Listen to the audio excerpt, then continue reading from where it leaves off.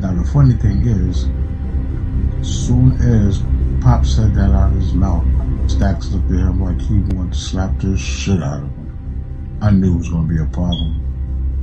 But I just said to myself, I have to take care of this shit, man. He the plays, man. Take the soldiers on the field.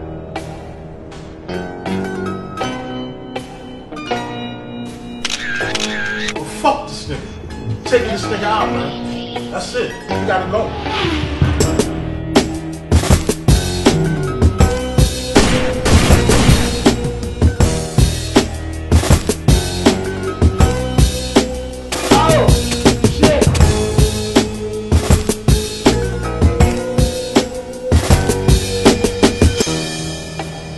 this bitch, I'ma fucking kill you.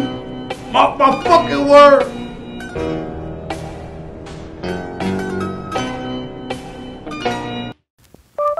Bye.